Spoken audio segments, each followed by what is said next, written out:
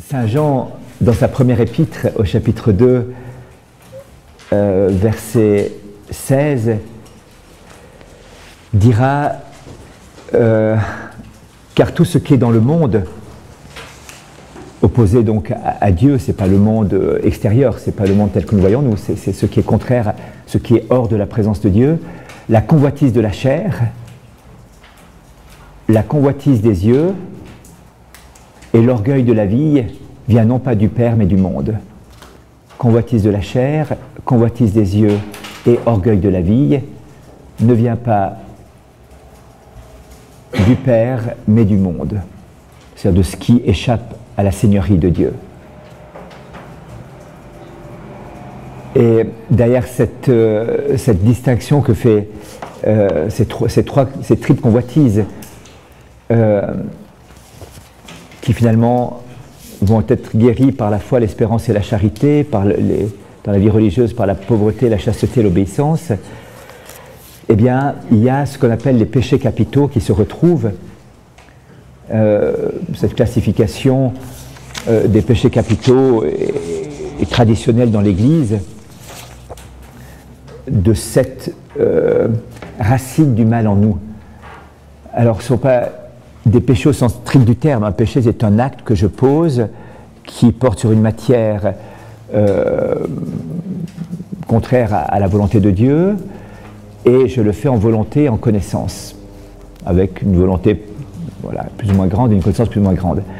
C'est un péché, donc un acte que je pose euh, qui se détourne de, Dieu, qui me détourne de Dieu.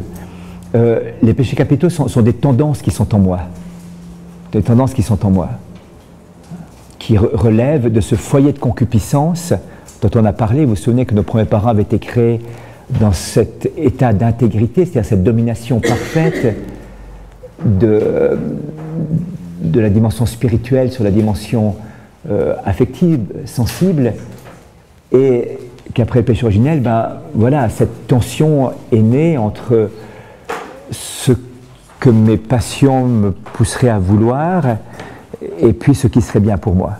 Cette confusion entre le bien particulier et le, bien euh, absolu de, mon être. Voilà, et donc il y a sept, euh, péchés capitaux que l'on pourrait autour des trois convoitises de, Saint Jean euh, regrouper aussi. La convoitise de la chair serait la gourmandise, la luxure et la paresse. la convoitise des yeux serait l'avarice, l'orgueil de la vie, ben justement l'orgueil, l'envie et la colère. Voilà, donc on retrouverait de manière différente ces tendances qui sont en moi, ces tendances qui sont en moi, qui peuvent me conduire à poser des péchés, à poser des actes.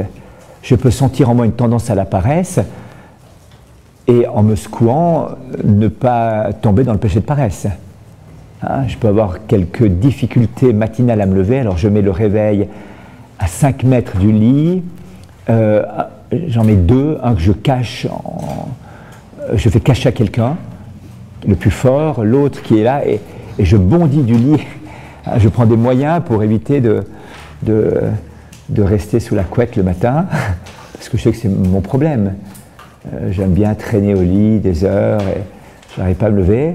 Voilà. Alors, j'ai cette tendance paresseuse en moi, où quand je me mets au travail, il me faut trois quarts d'heure avant que enfin je démarre le moteur du travail, bon, bah, peut-être qu'il va falloir travailler un petit peu là-dessus, voyez-vous. Et je peux ressentir ça peut-être, ou l'orgueil qui m'habite, ou, des tendances à la colère. Voilà, ça ne veut pas dire encore que j'y cède. Hein. Donc il y a ces tendances qui sont là, et je vais devoir les travailler. Il y a un certain désordre que va provoquer en moi le vice, qui est donc l'habitus opposé à la vertu, le vice va devenir assez vite tyrannique. C'est-à-dire que si j'y cède et si je continue à poser des actes, alors ma raison va être comme obscurcie petit à petit. Jusqu'au point où je peux parfois perdre le gouvernement de moi-même. Et c'est dans ce sens-là que je suis réduit en esclavage par les vices, voyez-vous. Et il y a tout un travail, parfois difficile, de libération, en langage euh, plus psychologique ou plus médical, on pourrait dire qu'il y a une addiction.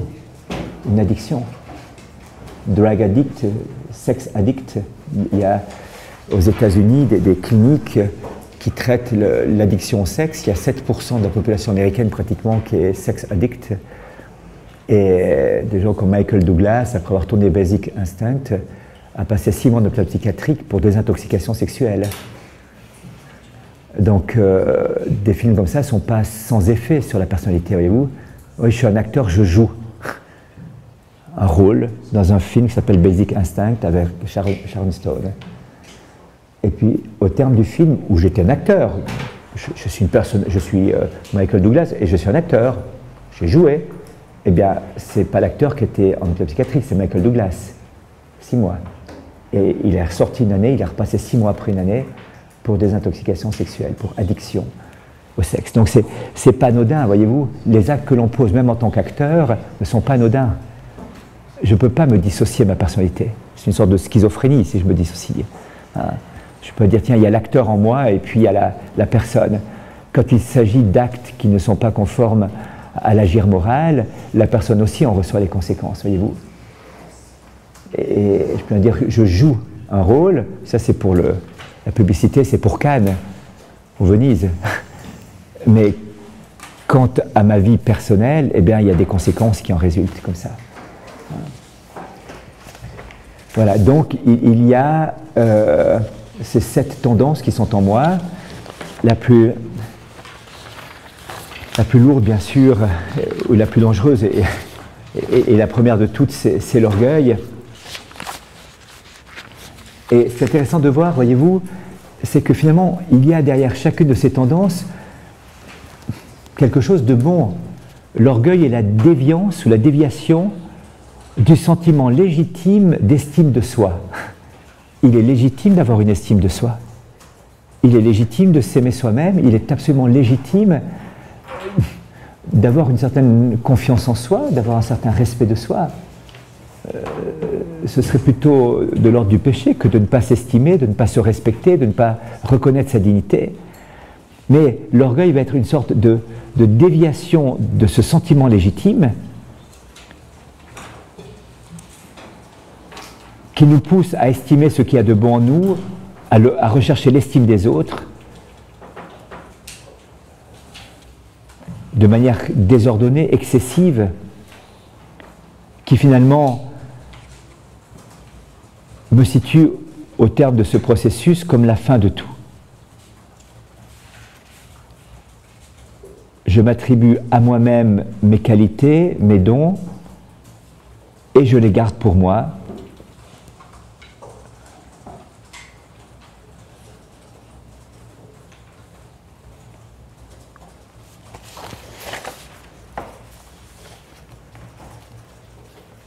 Finalement, derrière l'orgueil, il y a deux choses fondamentales. C'est vivre pour moi. C'est ce que le professeur Putala a appelé la néo-trinité. C'est moi, moi, moi.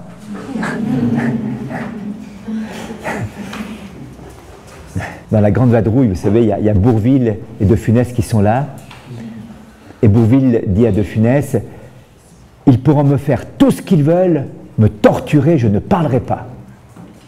Moi aussi, dit De Funès. À vous aussi, dit Bourville. Il dit oui, ils pourront faire tout ce qu'ils veulent. Ils pourront vous faire tout ce qu'ils veulent. Ils pourront vous torturer, je ne parlerai pas.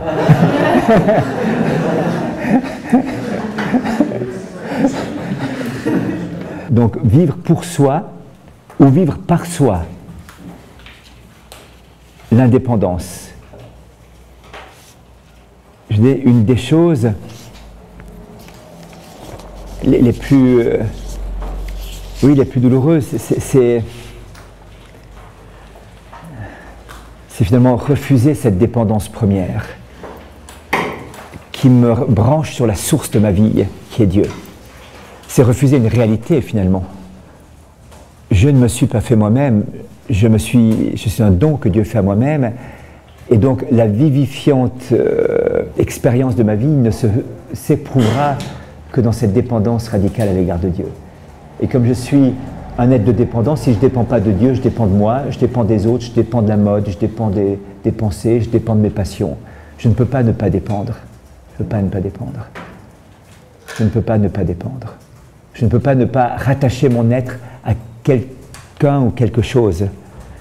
Et si je ne le rattache pas à Dieu, je rattache à la créature. Et rattaché à la créature, je deviens l'esclave de cette créature. Seul le rattachement à Dieu me restitue à ma liberté, me permettant de considérer les créatures pour elles-mêmes, de les respecter pour elles-mêmes et d'en faire l'usage selon le plan de Dieu. C'est-à-dire que je remonte à la source. L'orgueil, c'est pour la lampe, une fois qu'elle est allumée, dire alors là, couper l'électricité, je brille par moi-même. Couper l'électricité, je brille toute seule. Et quand on coupe l'électricité, elle ne brille plus. Ah, drame existentiel, découverte surprenante et déconcertante, humiliante, que l'électricité ne veut pas de moi. Hein C'était cette histoire, vous savez, c'est le jour du dimanche des rameaux, Jésus descend de Bethphagée à, à, Jérusalem sur un âne. Et alors la foule est là, l'acclame, Hosanna, ô roi des rois, jette des habits sous ses pas, balance des palmes. Enfin, c'est l'acclamation, c'est l'honneur. Et le petit anon que les apôtres vont ramener à Bethphagée le soir rêve la nuit et dit c'est quand même extraordinaire hier. Ah mais c'était beau ce que j'ai vécu. Ah mais vraiment. Ah non, je refais le coup aujourd'hui. Je vais redescendre à Jérusalem tout seul. Et par là-bas, il n'y a plus de palmes, il n'y a plus d'habits, il n'y a plus d'acclamation, il n'y a plus d'osana. mais qu'est-ce qui se passe? Hier, on m'a acclamé. Toute la journée, c'était incroyable. On mettait des habits sous mes sabots. On balançait des palmes devant moi pour me faire de l'ombre et m'acclamer. On chantait Hosanna quand je passais. Et aujourd'hui, il n'y a plus rien. Et c'était pas pour toi, c'était celui que tu portais. celui que tu avais sur le dos. Attention, attention de ne pas confondre. Vous voyez? Donc là, il y, y, a vivre pour soi l'égoïsme, vivre par soi l'indépendance, l'exaltation de mes dons, de mes talents, comme si j'en étais la seule source. Saint Paul aura cette phrase bouleversante qui est l'antidote à l'orgueil et, à tout ce qui en découle. Qu'as-tu que tu n'aies reçu? Et si tu l'as reçu, pourquoi te glorifier comme si tu l'avais pas reçu? Qu'as-tu que tu n'aies reçu? Et si tu l'as reçu, pourquoi te glorifier comme si tu l'avais pas reçu? Et finalement, quelle va être la racine de l'humilité La racine de l'humilité, c'est de reconnaître petit à petit que tout vient de Dieu, que tout ce que j'ai vient de Dieu. Et alors, à ce moment-là, j'ai plus peur. Oui, mais attends, est-ce que j'ose utiliser tel temps Est-ce que j'ose faire ça? Mais non, non, vas-y, vas-y. Mais reconnais que tout vient de Dieu et rend à Dieu gloire, honneur et louange, action de grâce pour tout ce qu'il fait. Et c'est vrai, un jour je t'ai donné une conférence assez grande comme ça, puis j'étais là un petit peu inquiet comme ça, puis une personne me dit mais t'en fais pas, ça va bien aller. Je dis oui d'accord, mais enfin, il faut quand même être correspondant. Ah, une conférence sert toujours à quelqu'un. Je dis oui quand il... Non, non, toujours à quelqu'un. Si c'est bien pour l'édification de ceux qui écoutent, si c'est mal pour l'humilité de celui qui a parlé. Alors, ça m'a beaucoup aidé par la suite. on préfère la première, c'est vrai, mais parfois on a besoin de la seconde. Et alors, euh, voilà, c'est très libérant, vous savez. Ça sert au moins à quelqu'un, ça c'est sûr. L'avarice, c'est un amour désordonné des biens de la terre. C'est-à-dire que Dieu a, donné la terre et les biens de la terre aux hommes, et c'est bien. On a le droit d'en profiter comme ça, mais de nouveau, je ne reconnais pas la source et j'utilise pas ces biens comme si c'était Dieu qui me les avait donnés. C'était un gestionnaire de ces biens au nom de Dieu. Les biens sont nécessaires, ils sont utiles, mais je suis le trésorier de la providence. Et l'avarice, c'est faire de ces biens une fin en soi, une sorte d'idolâtrie des biens. On raconte, je ne sais pas si c'est vrai, hein, mais on raconte ça que Dieu, quand il a créé le monde, à un moment donné, il a créé la Suisse. Et il paraît qu'elle était plate au départ. Et il y avait un Suisse en Suisse. Alors il dit aux Suisses, ça va, tu te plais ici? Il dit, ouais, c'est bien, mais je trouve que le paysage est un petit peu nul, quoi. Tout plat comme ça, si tu pouvais faire des bosses, ça serait plus beau. Et il dit, ah ben très bien, je vais te faire des montagnes. C'est quoi des montagnes? Tu verras.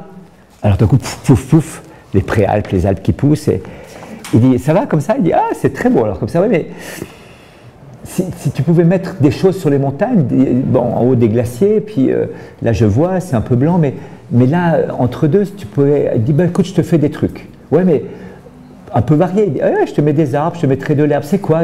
Bah, Tu verras, des arbres, des pâturages. Alors tout d'un coup, les arbres, les pâturages, je dit, oh, alors ça c'est beau, ça c'est bien réussi. Mais les pâturages, tu pourrais pas mettre quelque chose, là, je sais pas, des, des trucs qui puissent bouger comme ça, puis ça peut être utile aussi. Euh. ah, Dieu dit, j'ai trouvé ce que tu veux, tu veux des vaches. Une vache, c'est quoi Bah, tu vas voir. Alors, il crée les vaches, et puis, alors le Suisse, il est content, vous imaginez, il peut faire du chocolat, il fait du lait, tout, la double crème de gruyère. Et puis, euh, Dieu vient, il dit, et alors, euh, ça va tu Alors là, écoute, alors là, c'est fantastique. Les montagnes, les alpages, les forêts, les vaches, le lait, mais alors, et Dieu dit, et le lait? Ouais, le lait, c'est ce qui sort des vaches, c'est ce que je fais du chocolat, je tu peux m'en donner un petit peu à boire? Et puis, euh, Dieu dit, le paysan dit, bien, sûr, je te donne, tiens, on prend un verre de lait. Et puis, alors Dieu dit, bah, c'est vrai, il est bon le lait, dit donc. Est-ce que je pourrais faire quelque chose encore pour toi, dit Dieu aux Suisses deux francs, s'il te plaît.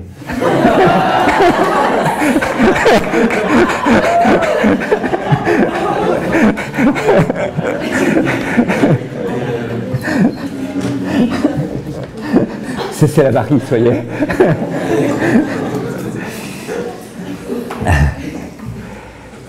Alors les formes d'avarice, ce sera l'accumulation des biens, le refus du partage, c'est cette propriété, cet esprit d'appropriation. Hein, et, de possession euh, des biens. L'envie ou la jalousie, c'est le désir du bien de l'autre en tant que je m'en sentirais, je m'en sens privé. Et c'est en tant que je m'en sens privé que je vais découvrir l'envie. Euh, c'est-à-dire, il peut y avoir une saine envie en quelque sorte. On dit que Dieu est jaloux. C'est pas qu'il nous envie. Il est jaloux de notre bonheur et désire que nous soyons heureux et donc va essayer de nous prévenir de tout ce qui pourrait nous empêcher d'être heureux et d'aller au bout de ce pourquoi nous sommes faits. Quand je suis dans, la jalousie ou l'envie, j'envie le bien de l'autre, dans le sens où, moi, je, m'en sentirais affecté du fait que l'autre ait ce bien et je le revendiquerai pour moi. voyez? Donc, je sens que le fait que l'autre ait ce bien m'en prive moi-même, ce qui n'est pas du tout le cas. C'est une personne qui est très, très douée ou qui a une propriété. Bah, vous n'en êtes pas privé vous-même, vous n'avez pas droit à cette propriété, vous n'avez pas droit à ce don particulier, vous avez d'autres dons. Hein, voilà. Et, donc, vous vous sentez privé du bien de l'autre. Vous ramenez à vous-même euh, et vous le ressentez comme une privation, le fait que l'autre ait ce bien. Alors la jalousie euh, peut se transformer par, euh, par, plusieurs choses, enfin peut s'exprimer dans plusieurs formes. Le, fait d'être jaloux du bien de l'autre fait que je ne suis pas capable de faire un compliment, de m'émerveiller devant ce que l'autre a, un talent, une réussite chaque fois, je devrais trouver quelque chose à redire sur ce talent, cette réussite. Je peux même aller jusqu'à la joie devant le malheur d'autrui. Un esprit critique en permanence, cynique parfois même, quelque part même une suspicion devant les, choses. Vous connaissez le gag de Gad Elmaleh hein, Je téléphone à ma femme. Alors maintenant, quand on se téléphone, on ne dit plus comment ça va, on dit t'es où? Alors le jour, je téléphone à ma femme, elle me dit T'es où? Je suis dans la voiture. Elle me dit Klaxon.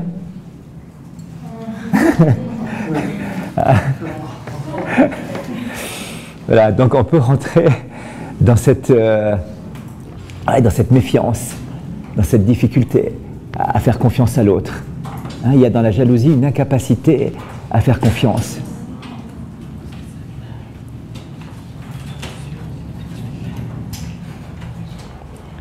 Je t'ai dit que je t'aimais. Ben prouve-le. Mais l'amour ne, pas, ne se prouve pas, il, s'éprouve en quelque sorte, si vous voulez. Ben, il se marque par des gestes. Mais si je ne veux pas voir, si j'entretiens une jalousie en permanence, une méfiance en permanence à l'égard de l'autre, klaxonne, Tu veux dire, avec qui? T'es avec une autre? Tu en es où? Euh, Prouve-moi que, ce que tu me dis est vrai. C'est fini, toute la confiance est brisée. Vous voyez, la, jalousie brise complètement la relation à l'autre, petit à petit. La jalousie casse complètement la relation à l'autre. Et le jaloux, nécessairement, va être dans une attitude possessive, la captation de l'autre. Je veux vouloir posséder l'autre, maîtriser l'autre, étouffer l'autre même. Le conjoint, l'ami, le, collègue, il est à moi, il n'est pas à toi. Hein? C'est le copain à moi et tu touches pas. Et donc, voilà, derrière la, jalousie, il y a toute cette euh, dimension euh, qui s'y trouve. Et il faut avoir l'humilité à un moment donné de reconnaître ces signes qui me montre la jalousie, ces comportements qui en moi manifestent cette jalousie. Hein, il, faut, beaucoup d'humilité pour euh, reconnaître ces choses-là et, parfois il faut aussi de la clacothérapie. La clacothérapie étant la thérapie par les claques. C'est-à-dire que des échecs, des, personnes qui disent écoute là, tu es vraiment un gros jaloux. Moi? Jaloux? Ou là, tu es un gros égoïste. Quoi? Moi, égoïste? Ben oui. Ah, des fois, il faut que des événements me révèlent à moi-même. Il y a cette scène assez impressionnante dans la Bible. C'est le prophète Nathan qui va trouver le roi David et qui dit David, j'ai une histoire à te raconter. Ah bon? dit David, raconte-moi l'histoire. Et il dit voilà, il y a un riche propriétaire qui avait beaucoup de chèvres. Et voilà, vraiment des centaines de chèvres. Et puis il y avait un, pauvre qui avait une petite biquette toute gentille, et puis il en prenait soin, il, aimait tellement qu'elle logeait avec lui dans la maison, enfin tout se passait bien comme ça. Puis un jour, le riche propriétaire reçoit un visiteur et euh, l'invite à manger et va chercher la chèvre du pauvre qu'il tue pour en faire le gigot pour euh, le repas du soir. Il va prendre l'unique chèvre du pauvre, alors qu'il y en a plein lui. Ah, et David, c'est inadmissible, il se fâche, il des choses avec comme la ici, on fera justice, il devra rendre et tout ça. Et Nathan lui dit, mais cet homme, c'est toi, mon cher David, c'est toi? Quoi? C'est moi C'est pas possible. Ben oui, tu es tombé amoureux de la femme de Bethzabé, Bethzabé, la femme du riz, il en avait qu'une, c'était son unique femme, tu l'as prise, tu as fait tuer Uri au combat pour pouvoir la garder, alors toi tu avais toutes les filles du royaume si tu voulais et t'as piqué l'unique femme du riz. Cet homme, c'est toi. Ah dit David, surpris de se découvrir pécheur, et à ce point atroce, ce qu'il avait scandalisé dans la parabole d'avant, ben c'était lui qui l'avait fait. Et, jusqu'à quel point C'était pas une biquette, c'était un homme qui l'avait tué. Hein? voilà. Et, donc, ça nous vaut le merveilleux psaume 50, euh, le miséréré, comme on l'appelle. Pitié, mon Dieu, j'ai péché contre toi, ce qui est mal à tes yeux, je l'ai fait. Voilà ta miséricorde efface mon péché. Lave-moi et je serai pur. Voilà, donc cette expérience de la misère, ce que j'appelle la clacothérapie, l'expérience à un moment donné de, par les événements, par les circonstances qui mettent en lumière ce qui en moi est tordu. La colère. On l'a vu, il y a une passion de la colère hier qui n'est pas morale. On en a parlé assez longuement hier, je peux revenir comme ça. Euh, et puis il y a le vice de la colère. C'est lorsque, ayant ressenti cette colère en moi, neutre en quelque sorte, mais en même temps passionnée, euh, violente parfois, euh, qui me fait euh, respirer violemment, devenir rouge au visage, avoir le cou gonflé, les cheveux qui se restent sur la tête, la, la tension, le cœur qui palpite plus vite, enfin voilà. je ressens tout ça, eh bien, qu'est-ce que j'en fais? Il se peut que je désire, à ce moment-là, me venger de ce que je ressens comme une injustice et de ce que cette passion de la colère me fait croire être une injustice à mon égard, ce qui peut être le cas d'ailleurs. Hein. et donc, le vice de la colère, c'est le désir violent et immodéré de châtier le prochain, de faire vengeance, c'est-à-dire de rétablir la justice par moi-même. Alors, ça peut être par l'impatience, ça peut être par l'emportement, par la violence verbale ou physique, par la fureur, un acte non maîtrisé, par la haine que je porte à l'autre, non pas ressentie, mais morale de nouveau. Je choisis délibérément de ne pas vouloir le bien de l'autre. La colère va donc être cette, façon de me venger de l'autre, l'agressivité. Et voyez-vous, je ne sors de la colère comme ça que par plusieurs étapes. D'abord, d'accepter la passion de la colère qui monte en moi. Il faut l'accepter, elle est là, et tant mieux, elle me donne un signal important. Ensuite, de, faire le travail de l'intelligence. Est-ce que ce qui pour moi m'a semblé sensiblement être une injustice était une injustice authentique au niveau moral? Est-ce que c'est vraiment pas juste comment m'a traité? Vous savez, vous arrivez à un examen et vous attrapez un 3 et vous avez une colère, mais une colère contre le prof, mais une colère. Vous n'avez rien étudié, rien travaillé. C'est déjà généreux de vous donner trois. Très généreux, il est gentil le prof, il est vraiment sympa. Et il a dit par pitié, par générosité, je lui mets trois, je ne lui mets pas deux. Et vous êtes une grande colère. Il n'y a aucune injustice, il a simplement reconnu le niveau de connaissance que vous aviez. Il ne vous a pas jugé, vous, la personne, mais il a dit ce que tu sais, ce que tu m'as montré, ça vaut pas plus. Voilà. Et donc, euh, ma colère est, injuste. Ma colère n'est pas du tout légitime. Mais il arrive parfois, par exemple, que quelqu'un se comporte à votre égard de manière vraiment injuste. Et que vous ressentiez cette colère et il s'agit d'une véritable injustice. À ce moment-là, il faut reconnaître qu'il y a eu injustice. C'est pas normal. Je ne peux pas sauter à pieds joints là-dessus. Je veux dire, mais c'est pas grave, c'est rien, laisse tomber. Euh, mais non, c'est normal, puis je pardonne. Il y a un petit dessin, un petit cartoon un jour de Saint-Pé, c'était marqué Je pardonne à ceux qui m'ont offensé, mais j'ai la liste. voilà, donc je garde la liste. Vous voyez, c'est. Oui, la, colère. Euh, une fois que je reconnais l'injustice, je peux rentrer dans une démarche de pardon, avec la grâce de Dieu, avec l'aide de Dieu sans doute la chose la plus difficile à faire que de pardonner. Mais s'enfermer dans la colère m'autodétruit. M'autodétruit. C'est-à-dire que je crois me venger, mais je ne serai jamais satisfait de la vengeance que j'ai donnée. Parce que c'est jamais par la vengeance que je vais rétablir la justice, voyez-vous. C'est très beau, Jean-Paul II dit, le mal dans le monde exige une vengeance, c'est-à-dire une réparation. Une vengeance, il exige le mot vengeance qui techniquement est le mot utilisé quand on analyse ces choses-là. Et la vengeance de Dieu s'appelle la miséricorde. C'est la dernière phrase qu'il avait écrite avant de mourir, qu'on a trouvée sur sa table de nuit, euh, et que Benoît XVI, une fois pape, a recité euh, dans une homélie. C'était l'homélie qu'il devait prononcer le dimanche de la miséricorde. Et comme il est mort dans la nuit, eh bien, il n'a pas pu la prononcer. le mal exige une vengeance. Et la vengeance de Dieu s'appelle miséricorde. Alors là, on est dans une logique qui éclate en quelque sorte ce donnant-donnant.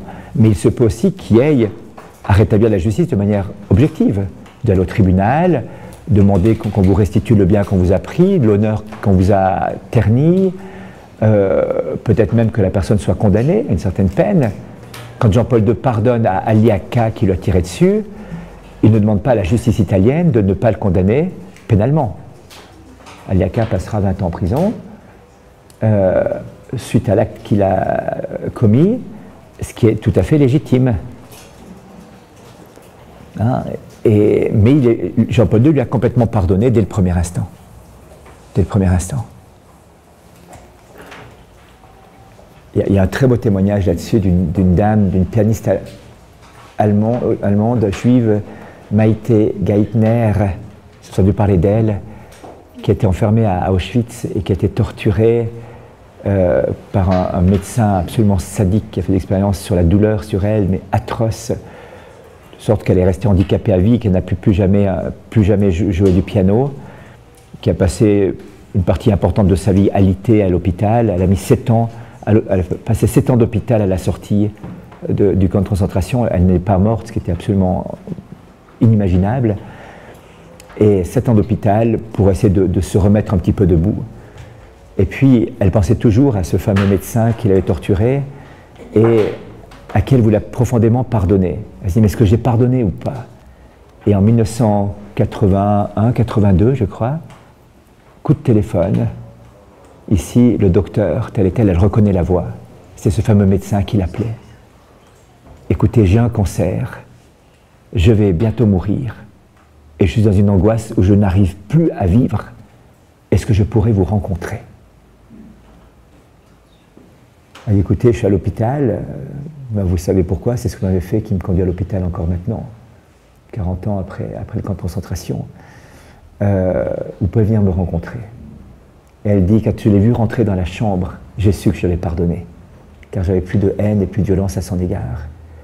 Et cet homme qui était là euh, euh, tremblait devant elle en disant, mais voilà, quand je vous torturais, que je faisais ces démarches, vous aviez une telle paix, un tel regard, il y avait un tel mystère en vous que j'ai besoin de ça maintenant dans l'épreuve que je vis. J'étais devenu un des plus célèbres chirurgiens allemands. Il avait fait une fortune colossale. Et euh, voilà, mais il y avait ce passé qui était là, qui n'avait jamais été reconnu d'ailleurs par les tribunaux. Et il lui dit, mais donnez-moi le secret. Elle dit, le secret s'appelle Dieu. Et donc il a, il a fait tout un chemin comme ça. Et il a dit, mais qu'est-ce que je fais maintenant? Comment je peux réparer tout le mal que j'ai fait dans ma vie? Il a dit, ben maintenant, aimez les gens autour de vous, partagez vos biens, donnez faites le plus de bien possible pendant les six mois qui vous restent à vivre. Alors, il a vécu six mois et euh, il est mort dans la paix, comme ça. Mais elle disait, voilà, j'ai su lorsqu'il est venu dans la pièce qu'à ce moment-là, j'avais pardonné, parce qu'il n'y avait plus aucune violence à son égard, et même une grande compassion à son égard. Grande compassion. Le pauvre, le grand pauvre, c'était lui. Le grand pauvre, c'était lui. J'étais bien alité, j'avais vécu 40 ans de souffrance depuis cette sortie du camp. Mais le grand pauvre, c'était lui. Voilà, l'impureté, qu'on appelle aussi luxure, c'est le désordre dans le plaisir sexuel.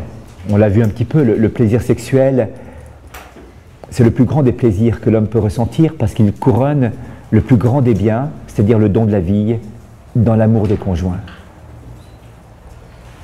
Il n'y a jamais un plaisir aussi grand dans l'acte de manger ou de boire. Parce que le bien auquel est, qui est visé à travers ça, c'est la transmission de la vie et la communion des personnes. Mais c'est un plaisir extrêmement complexe. C'est un plaisir qui n'est pas la fin de l'acte. Voyez-vous? La fin de l'acte, c'est la communion des personnes et l'ouverture à la vie. Il est rattaché à l'acte comme de surcroît. Si je prends un exemple, euh, vous aimez euh, les coquilles Saint-Jacques et vous mangez vos coquilles Saint-Jacques. Mais vous avez un grand rhume et vous avez perdu le, goût parce que vous avez pris des pastilles et vous êtes complètement pris. Donc, ça, des coquilles Saint-Jacques. Ben, vous sentez plus rien. Vous avez faim, vous allez quand même manger, même si le goût n'est pas là, voyez-vous. Et certains perdent le goût après euh, des thérapies, des chimiothérapies ou des rayons comme ça. Euh, voilà, ils vont continuer à manger. Ah bah, comme je sens plus la nourriture, j'arrête de manger. Le plaisir de manger n'est pas la fin du manger. Auquel cas, je serai dans, le vice de la gourmandise à ce moment-là.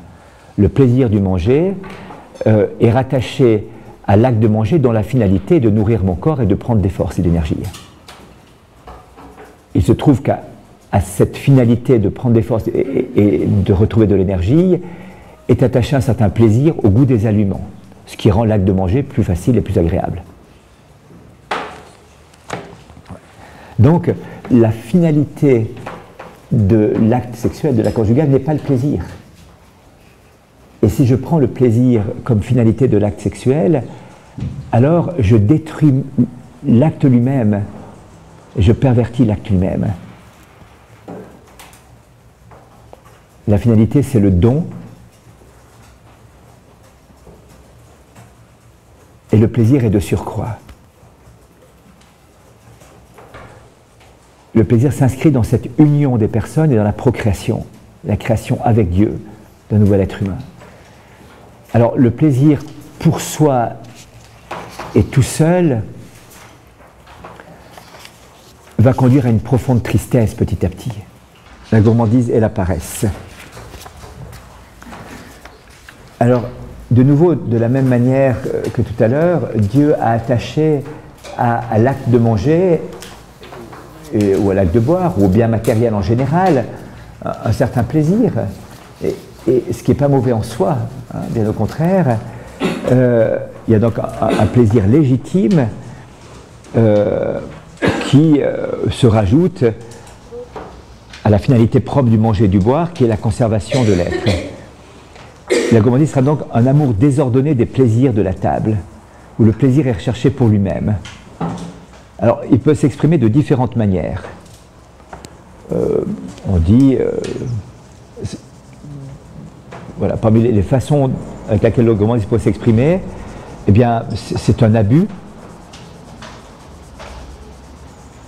du manger, un abus du boire, une sorte de gloutonnerie, une grossièreté dans mon rapport à la nourriture, il peut y avoir la recherche excessive, presque obsédée parfois, de, mes exquis, du meilleur, toujours chercher le truc qui me plaît. Ou par contre, manger qu'un type de nourriture et ne pas manger le reste, de trier la nourriture que je mange. J'ai pas l'impression d'être gourmand si je mange toujours au McDo, mais si je ne peux pas manger ailleurs, ben oui, il y a une gourmandise qui est là. Ou s'il y a tel type de nourriture que je mange jamais, ben, quelque part, il y a une gourmandise qui est là. si c'est pour des raisons de santé, c'est possible.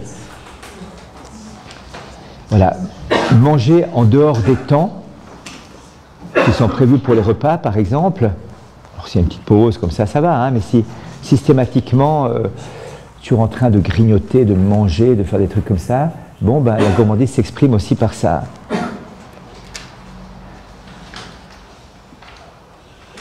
Voilà, donc on voit un petit peu ça va être. Donc la gourmandise n'est pas ce qu'on dit habituellement, c'est apprécier les bonnes choses. Je suis gourmand, j'aime bien, vous savez, mon père, je suis gourmand, j'aime bien ça. Ah, vous avez bien raison d'aimer ça. Maintenant, si vous ne recherchez que ça, vous ne voulez que ça, alors là, oui, il peut y avoir quelque chose. Je ne peux pas vous passer de ça, oui, là, vous êtes gourmand. Mais si vous appréciez quelque chose de bon, et quand c'est là, vous vous, réjouissez, et quand c'est pas là, bah, vous vous acceptez volontiers, et quand c'est là, vous en mangez juste ce qu'il faut, eh ben, ben, très bien, il n'y a aucune gourmandise.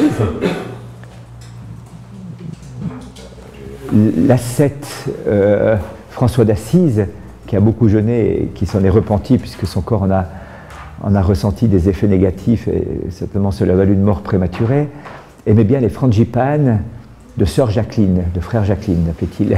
C'est une dame romaine euh, assez aisée qui aidait les, frères franciscains à l'époque et qui faisait du très bon frangipane. Et, donc il aimait bien ça. Et euh, François d'Assise est, mourant, euh, s'étend sur le sol puisqu'il veut dormir, il veut s'endormir ou rentrer dans la vie éternelle nu sur la terre nue. Et, donc il est, tendu sur le sol comme ça. Et puis il dit un de ses frères, ah il faudra avertir frère Jacqueline de bien vouloir venir. et puis le Seigneur avait déjà prévenu frère Jacqueline à Rome, donc elle fait les, je ne sais pas combien, 150 km ou 120 km qui séparent Rome et Assise, elle arrive avec du frangipane. Et donc François mangera son frangipane comme ça, et puis euh, mourra sans relation de causalité d'ailleurs entre le frangipane et la, et la mort. voilà. je trouve cette délicatesse de Dieu extraordinaire, vous voyez Cette délicatesse de Dieu extraordinaire. Voilà. Donc, euh, euh c'est pas l'appréciation des choses qui, qui fait le, la gourmandise, c'est l'attachement immodéré, l'attachement exclusif, le désordre quant à ses biens, qui va faire en moi la gourmandise, qui, finalement me lie euh, à, des, oui, à, des biens, comme ça. Alors on, peut, on peut la cacher hein, sous des formes en disant oui, mais moi j'apprécie les bonnes choses. Oui, mais si j'en suis attaché exclusivement ne peux pas m'en passer, bon, ben, c'est un peu difficile. Hein. Donc il va falloir voir un petit peu ce qu'il en est et comment je suis capable de prendre la distance par rapport à ça, éduquer mon rapport à, ces biens-là. Voilà. La gourmandise, pour la paresse, euh, je vous dis qu'il y a une vertu qui s'appelle le trapélie, le juste rapport au travail et au repos. On en a parlé ce matin, le trapélie. Ben, la paresse euh, est une sorte de caricature de cette vertu c'est l'amour des aises et le plaisir du repos. La paresse m'amène à éviter l'effort ou tout ce qui pourrait être gênant ou, dérangeant. La paresse me conduit dans une sorte de négligence dans l'action, une sorte de torpeur. Alors il y a différentes manières de vivre la paresse, la nonchalance, l'indolence, la mollesse, l'indifférence, le travail qui est mal fait. Voilà, je ne m'applique pas dans ce que je fais. Je, suis là, bof, je me laisse un petit peu aller. Je peux être fainéant, je flâne, je recule, j'attends dans ce que j'ai à faire. Le travail ne fait pas peur, je me couche dessus. Selon le vieux principe. Voilà. Et donc c'est assez subtil tout ce rapport au travail, hein, ce rapport à l'activité, au devoir d'État. Vous voyez, entre la fainéantise, la paresse, la nonchalance, c'est plus subtil dans la nonchalance. Je ne mets pas toute mon énergie, je ne mets pas tout mon engagement, toute ma personne dans ce que je fais. Je traîne, je, je fais mal les choses, je, je, suis mou, je, je murmure, j'en ai marre. Euh, voilà. Et il n'y a pas cette fidélité au devoir d'État, fidélité à ce qu'il est demandé de faire. Et, c'est très destructeur la paresse. Il y, a un type de paresse particulier qui est important de relever. Euh, c'est une sorte de dégoût des choses spirituelles.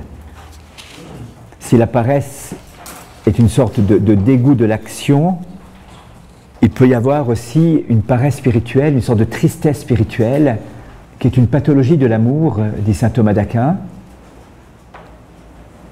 et qui fait que j'ai plus cet élan vers Dieu. Donc tout me vient dur, je suis à la messe, mais je, rêve, je suis toujours ailleurs. Je mets sur off, je mets sur on, Cinetita, Hollywood et tous les films intérieurs de l'imagination. Je ne suis pas présent à ce qui se passe. J'écoute pas les paroles de la messe, j'écoute pas les paroles de, la liturgie. Je suis là en train de rêver, regarder par la fenêtre. Euh, à la prière, euh, je me laisse aller. On ne peut pas être attentif à, tout moment, mais euh, il y a une vigilance à avoir, tu vois.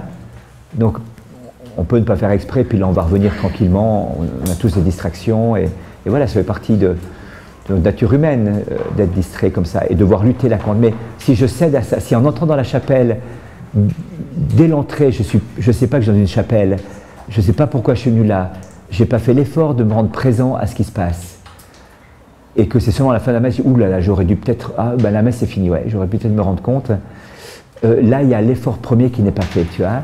C'est-à-dire que le désir, la tension vers Dieu, l'attention, et l'attention en un mot, n'est pas là. Euh, je me laisse aller à cette espèce de torpeur spirituelle qui, est assez sournoise, finalement.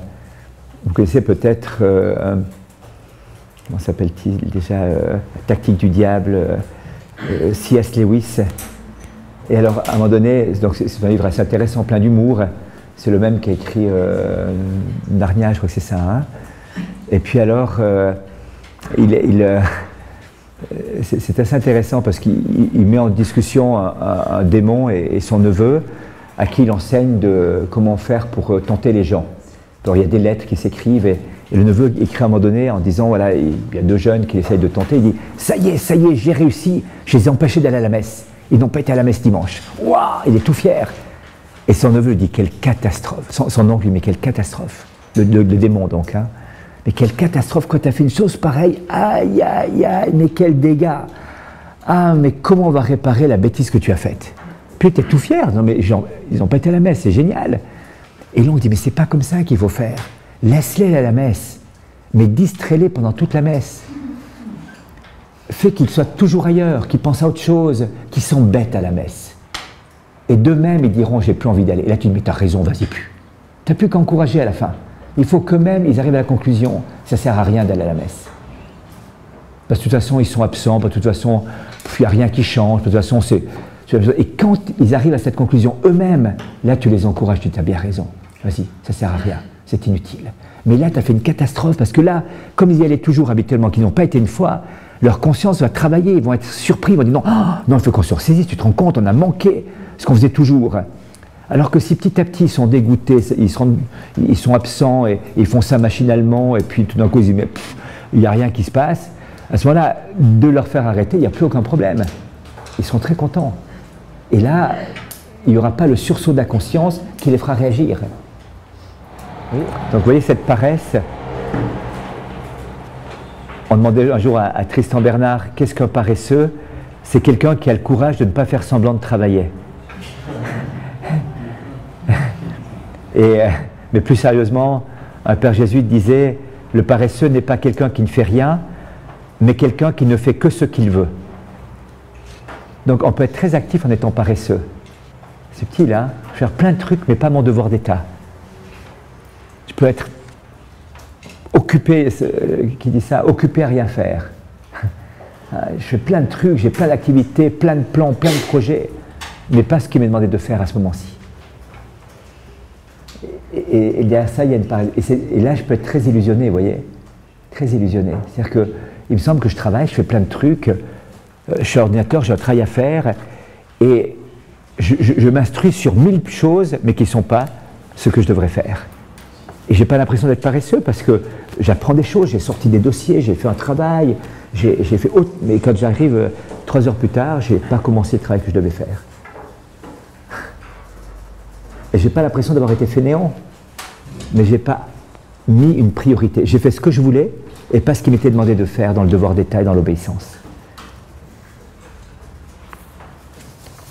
Donc vous voyez, c'est assez subtil et c'est important parce que la paresse est un peu une des, oui, une des sources de tout finalement. Alors la paresse n'est pas à confondre avec une dépression qui serait une pathologie. Ah, euh, je, peux parfois avoir plus d'énergie pour faire quoi que ce soit. Et pas je suis en, pathologie. Euh, mais il se peut peut-être que une acédille et une paresse qui m'envahissent fortement puissent tourner en pathologie aussi. Voilà. Donc vous voyez, c'est assez subtil ce rapport entre l'un et l'autre. Et puis il y a une forme particulière de paresse qui s'appelle la procrastination. Il y a le mot crasse dedans qui veut dire demain. La procrastination consiste à remettre à demain ce que je peux faire aujourd'hui. Et le procrastinate, c'est celui qui souffre de procrastination, eh bien, euh, va trouver de grandes justifications à euh, sans cesse reporter les choses. Alors, il y a une chose que je peux reporter à demain, et c'est pour ça que j'en parle, parce que c'est assez intéressant, c'est ma conversion. Saint Saint Augustin qui parle de ça et dit, mais je disais, je suis d'abord une histoire, c'est une histoire que racontent les pères du désert. Lucifer réunit un petit peu ses sbires pour voir un petit peu ce qu'ils ont réussi à faire de mal dans le monde. Et alors on a dit, moi j'ai réussi à susciter une guerre là-bas, c'était le carnage total, a dit Lucifer, très bien. On dit, moi j'ai provoqué des tempêtes, des catastrophes naturelles, il y a eu beaucoup de morts, a dit très bien. Moi, dit-il, j'ai créé, un crack boursier, j'ai fait que des gens pillent de l'argent partout, c'était la catastrophe. Ah, très bien. Et un jeune démon arrive et ben moi été annoncé partout, convertissez-vous, croyez à l'évangile, revenez à Dieu de tout votre cœur, euh, changez de vie, adorez le Seigneur. Un intrus, horreur, scandale, tous les démons qui se dressent avec leurs fourches comme ça, prêts à, se précipiter sur euh, cet ignoble personnage qui ose être l'adversaire parmi eux. Et dit Attendez, attendez, attendez, attendez Mais j'aurais dit à tous Commencez demain, commencez demain. Et l'histoire raconte que Lucifer lui a donné sa couronne et l'a mis sur sa tête. Alors, ça, c'est l'expérience qu'a fait Saint Augustin. Hein il dit voilà, je sais bien qu'il faut que j'arrête cette vie de, débauche, que, je me retourne, voilà. Mais il disait toujours demain, demain, demain. Alors il y a cette, ce jeu de mots qu'il va faire. Crasse, crasse, crasse. Il me semblait entendre le corbeau qui disait croix, croix, croix. voilà.